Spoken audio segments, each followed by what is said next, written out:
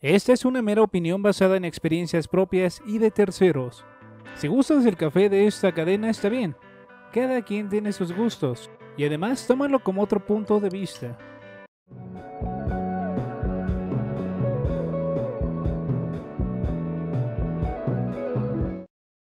Si te pidiera que me invitaras a un café, ¿dónde me llevarías? Probablemente haya una buena cantidad de cafeterías. Sin embargo, muchos a quienes les he preguntado lo anterior terminaron diciendo Starbucks.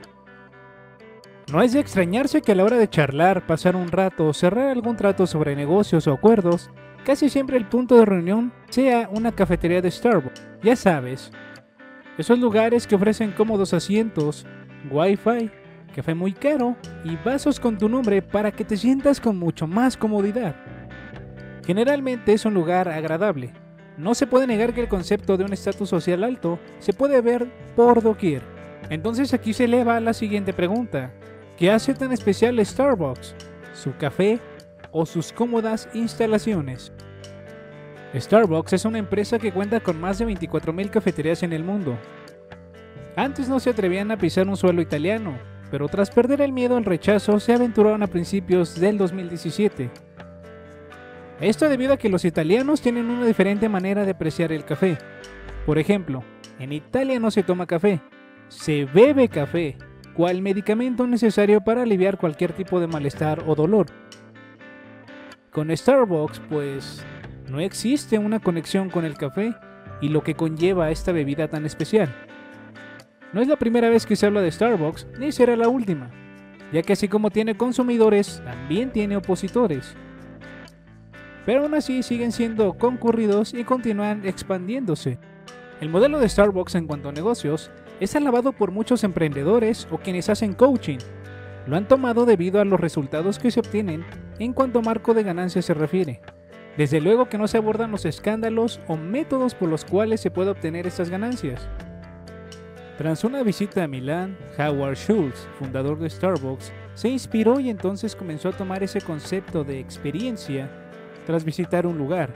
Pero nada más lejos de la verdad, la experiencia no lo ofrece con el café precisamente, la obtiene con su concepto de ofrecer una cultura citadina. Las cafeterías de Starbucks son lugares cómodos donde se pueden ver a personas de negocios, jóvenes y gente común en un mismo sitio, todos bebiendo la bebida que compraron, un poco más cara de lo que realmente salió producirla, pero vamos, al menos el vaso tiene su jodido nombre. Se piensa que todo esto tiene una razón, y la razón es que hace que se sientan más cosmopolitas y conectados con el mundo, especialmente aquellos que han viajado. Pero de igual manera esto lo pueden sentir aquellos que no pueden costear una vida bohemia, pero sí pueden sentirse parte de algo, en este caso de un alto estatus social, aunque solo dure un par de horas.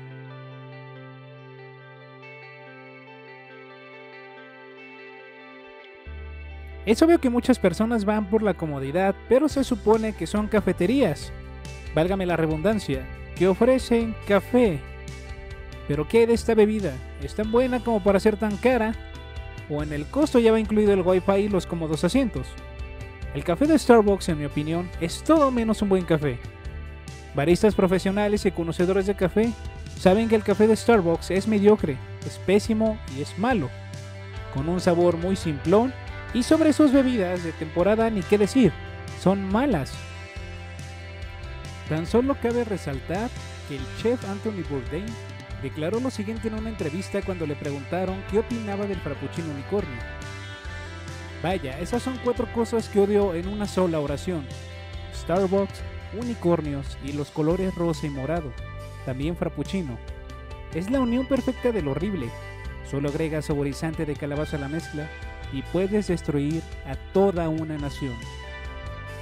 Las bebidas de Starbucks se caracterizan por las siguientes cosas, azúcar, colores y por volverse tendencias en un corto periodo de tiempo.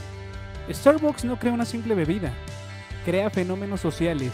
Por ejemplo, con el Frappuccino Unicornio, hizo que desde noticias, youtubers y diferentes medios de comunicación pusieran atención en su producto.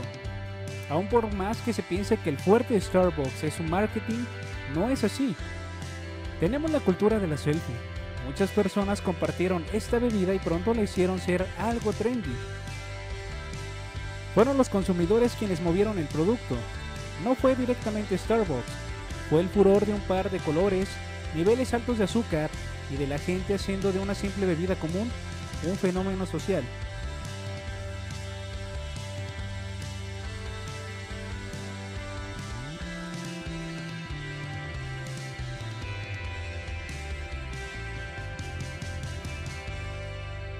Hace unos años cuando Starbucks recién había llegado a México, comenzó a competir con cafeterías nacionales. Muchas rápidamente se dieron, sin embargo, hubo una que no se dio, y demostró que no es necesario ofrecer lugares cómodos o vasos con nombres para ofrecer una experiencia en cuanto al café se refiere. Sin embargo, no es lo mismo unos cuantos locales de venta de café que a una cadena de cafeterías con más inversión en infraestructura como lo es Starbucks. El café El Jarocho tuvo que modernizarse un poco para ofrecerles algo nuevo a sus clientes, pero sin descuidar la calidad del café que ofrecen a un precio mucho más barato y mucho más rico.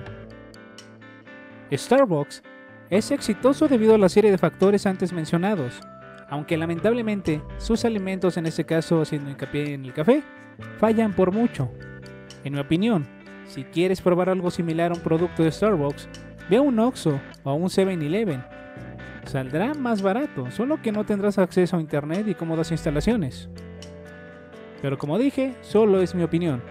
Si eres alguien que te gusta visitar casualmente esos establecimientos y es por gusto, adelante, eres libre de hacerlo y es tu decisión.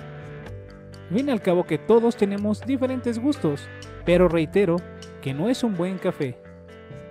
Como siempre este video fue posible gracias a los Patreons, si deseas ser parte de este proyecto, encontrarás los enlaces de Patreon y Coffee en la descripción de este video.